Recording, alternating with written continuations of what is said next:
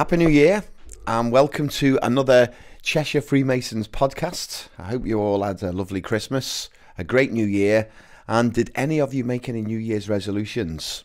I didn't, but I was looking what are the most popular resolutions that people make. So you, if you made any resolutions, you might have made some of these.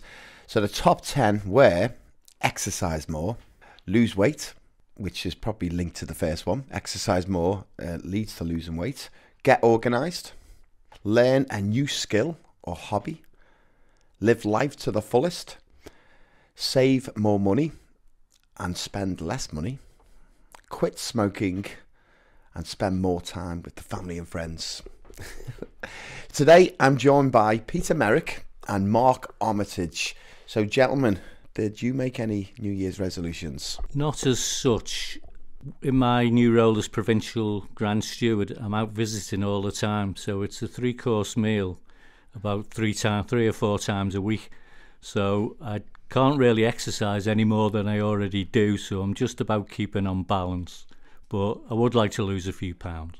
Literally, uh, if looking at those top 10 resolutions, you won't be losing weight, you won't be spending less money, you're going to be spending more money, but you will be living life to the fullest. Yeah, maybe. Mark, did you make any New Year's resolutions?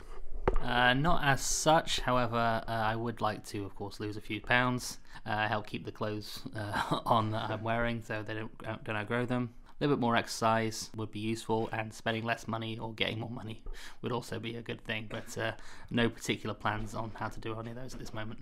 Yeah, I was looking at this other website, and this says the top ten unusual New Year's resolutions. So, do you want to hear them? Here we go. You might not find them unusual. So, get your photo taken in five interesting places. That could be five lodges. Learn a decent party trick, uh, which I, I quite I like that challenge. Break a record, not a vinyl record, I think more like a world record. Make a new friend a month. I think that's possible in the season when we Uh, the lodges are open because you can easily make a new friend a month. You can just go out visiting. Develop a good relationship with your body. Learn something you never learned as a child. Try a new food each week. Make the usual unusual. Sort out a financial worry.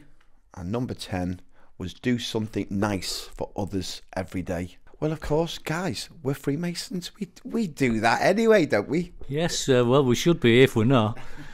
yeah, the uh, because I've visited so many lodges uh, in in the last well since October, I've been to 26 lodges, and the team, the provincial team, we've bonded really well. But apart from them, uh, you're meeting new people all the time, so that's great. That's what I love doing. Oh, excellent, Mark. It's great to have you with us today. Now, you are new to Freemasonry, so I'm interested in what lies ahead for the year for you, or what you think lies ahead, because I believe you're a fellow craft, and sometime this year you'll be doing your third degree. Uh, yes, that's correct. I've been uh, Freemason now for 11 months, 11 months as of last Friday, oddly, oddly enough, uh, and I'm expected to be able to do my third degree for Master Mason either next month or the month after, so February or March, depending on uh, the, the, schedule that's agreed to by the more higher ups within the lodge who are organising all this. So that's uh, where I'm up to at the moment. Uh, the rest of the year, not sure if I will be taking on any new role within the lodge, but I will be sort of expanding my experiences within the Freemasons. Um, I'm visiting a, a brand new lodge for the first time next Wednesday. I've been invited to attend another lodge, so that'll be an interesting experience and also I'm going to be working a bit more with the the comms team on a, a new segment that they're looking at starting and expanding on but it's not yet been put into motion, so I'm not sure how much I can speak about. well, welcome to the comms team. I look forward to uh, having you part of our team. So, Peter, what lies ahead this year for you? Uh, more visiting, lots of uh, visits to do, uh, mainly 50th and 60th and 100 year celebrations. So I'll be doing that as part of the provincial team. Uh, I'm first principal in Hamilton chapter in Ellesmere Port, and we've got our installation next Thursday. So I've been learning my lines for that, although I am staying in the chair for another year. Uh, I'll be helping out at the MMF academies. A couple, one at Cheshire View, which is not long started out, so I'll be helping out with them. And generally, um, lots of stuff in the lodge as well. I'm lodge mentor, so I'm always busy. It, well, it sounds it. so the MMF, I think that's where I first met you. For those listening, uh, Peter and I both reps for the MMF, it's the Masters and Masons Forum. If anyone doesn't know, uh, they do yeah, a lot of great stuff. And obviously, you've got some great stuff planned this year. I'll still be involved to a certain degree, and I'm very surprised that you, you're still finding the time, Peter, to be involved and be a rep. You'll probably be passing on the uh, the reins to probably Mark. Mark, will we get Mark involved? Mark, when you're a master mason, once you've done your third, that's that's a great idea, isn't it? Actually, because you're both in the same lodge, so you're going to be in the communications team and you're going to be an MMF rep. I'll email Michael Shields, so let him know. so, uh, the MMF, you're going to Portugal this year, is that right? Yes, uh, we're going to do a presentation in uh, in Lisbon. I think there's probably be about 20 to 25 going to that. The the deputy PGM is actually going to that, Simon Medlin. Looking forward to that because he is a really funny guy. Okay, what are you after saying say in that? You after another promotion? No, I'll stick with this promotion for now, thanks. The academies as well. How's the new academy going uh, for the MMF? It's doing well, yeah. It's um, they've had, I think it's uh, the third meeting on the first Friday of the month, so I think it's probably the third of February is the next one. So uh, I'll be at that one.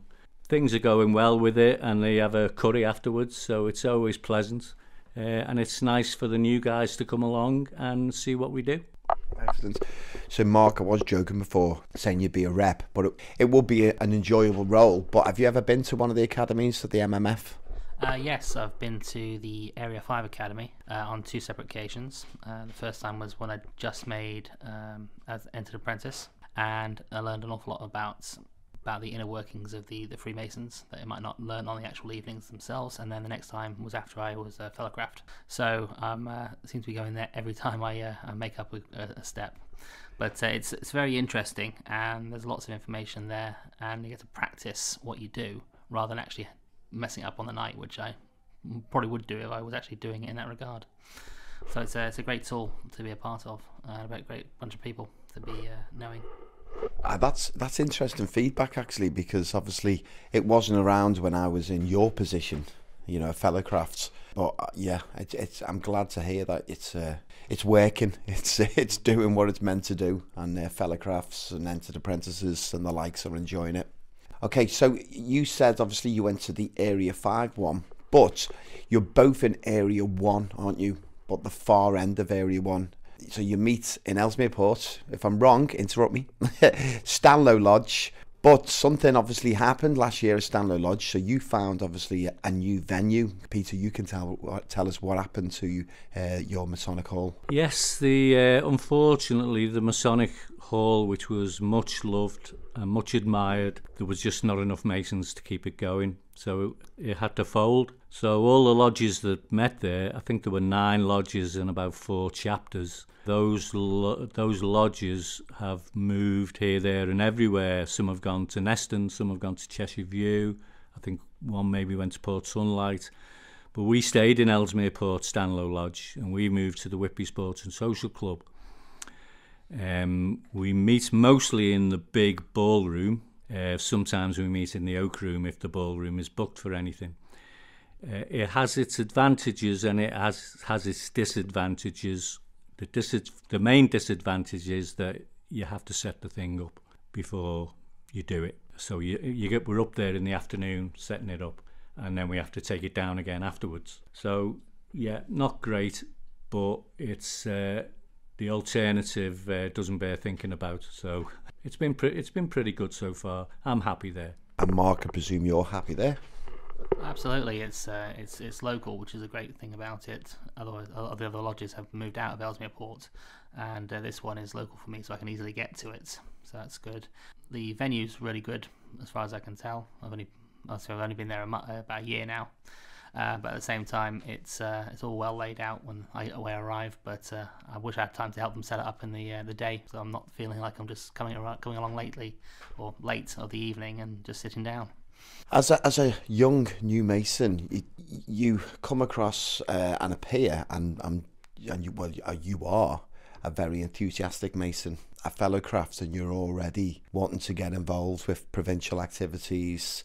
Uh, I've already roped you in to be uh, an MMF rep, but what do you think lies ahead, and what is it that? Um, why did you join Freemasonry? And um, what do you think? What do you think will lie ahead once you've done your third degree?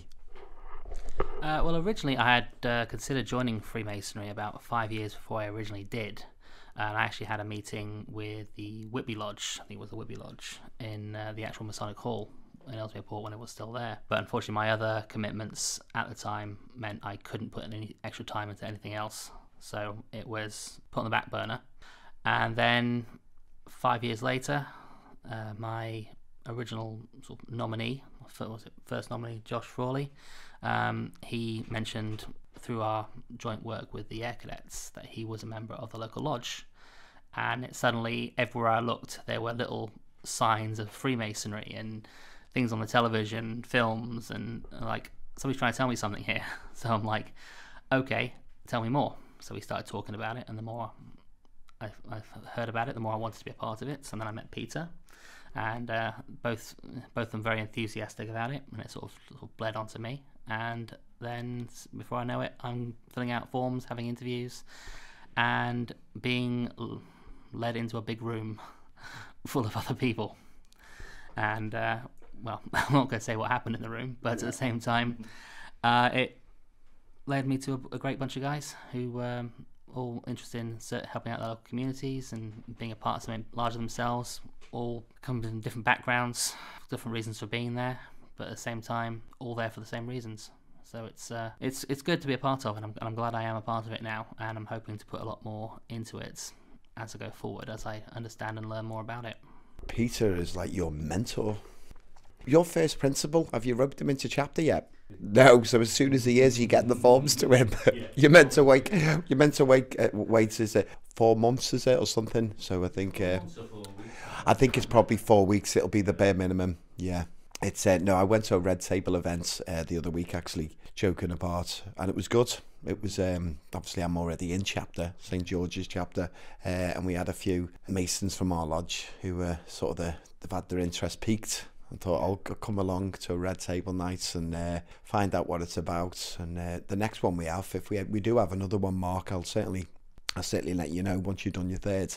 Come along to it. And uh, over lockdown, we did do the talking heads. Did you see that over lockdown? Mm. Yeah, it was good. I mean, obviously it's much better in person, but that was great. I got to do that with John Lacey over Zoom. Yeah. I was and uh, oh, and Steve Simcox as well. Yeah, Steve and John. I think they took part in. No, the talking heads one. Oh, sorry, no. No, that was for chapter. Yeah, I mean we did do a lot over lockdown. It was great actually. Do you know over lockdown, I, I, the MMF was sort of kept a lot of people going. I think because our lodge, you know, I organised a few qu- uh, quizzes over Zoom, but you know, obviously you're getting probably about 25% of your lodge taking up on it.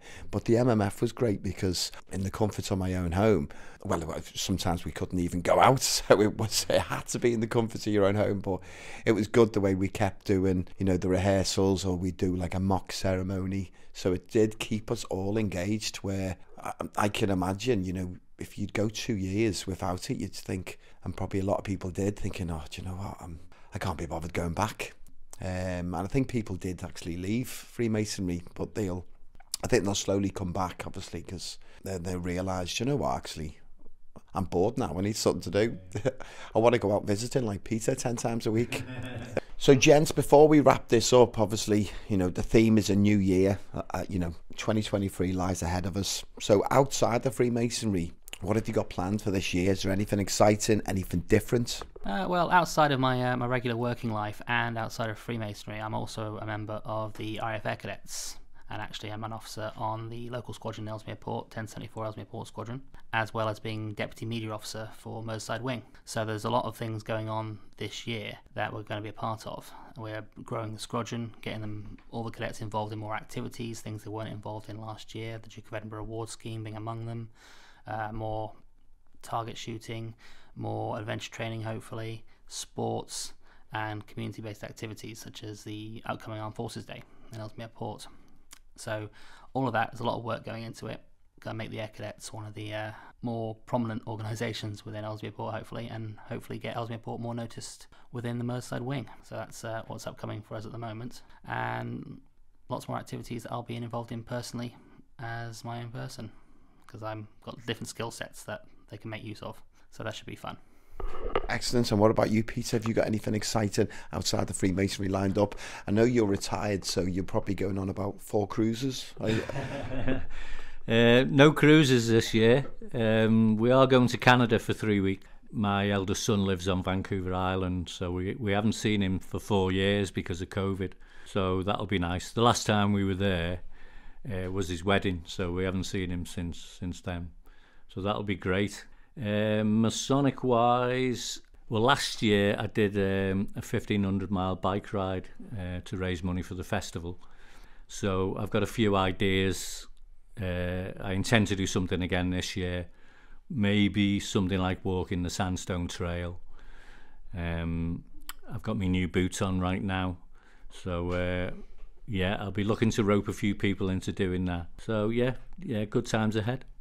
Excellent. So I can see, yeah, you're breaking your boots in. Excellent. um, well, if you've got any um, anyone that you think might be interested in Freemasonry, our lodge, and this is a cheeky little plug here, our lodge has got an Old English night in May. So bring them along, and it's. I mean, the Old English nights are always a good night, but it's going to be coronation themed because literally, I think it's two or three days before we meet at the beginning of May is obviously the coronation of King Charles, which I'm sure will be will be a huge event. And um, I noticed in our Masonic Hall, I don't know whether well, it wouldn't be the same actually where you live, but any Masonic halls that not where you, so it wouldn't be the same where you meet because you don't meet in an official Masonic Hall, but any lodges that you visited, have you noticed the Queen's picture's been taken down, but it's not been replaced yet. So I'm thinking, is it we just haven't got ones of King Charles, or are we waiting for the official coronation? I wonder what the protocol is, the official coronation before the actual picture goes up, you know, in the uh, the dining hall. Yeah, I must ask. There must be there must be something to it, mustn't it? Be a protocol. Uh, yes, I'm not really sure what it will be. Uh, I I thought someone had said to me that we were um, we had a picture ordered, but it, we were just waiting for it to come. But uh, yeah, I, I, might be getting that wrong. Um, yeah, but we'll wait and see. Right, gents, uh, I appreciate your time today. Good luck for the rest of the year, uh, Peter. I know you've got a busy calendar ahead. Mark, I'd love to come to your third. I will try my best to come. Uh, Peter obviously will let me know. Come and support you. Good luck uh, this year with the comms team. I, I, think you'll be a valuable asset. And uh, I will be sending that email to Mike Shields. And hopefully we'll get him as a MMF rep and we'll get you out visiting and meeting lots of new people in the forthcoming year. Right, gents, good night. Take care, and I will see you both soon. Yeah, thanks all. Thank you very much.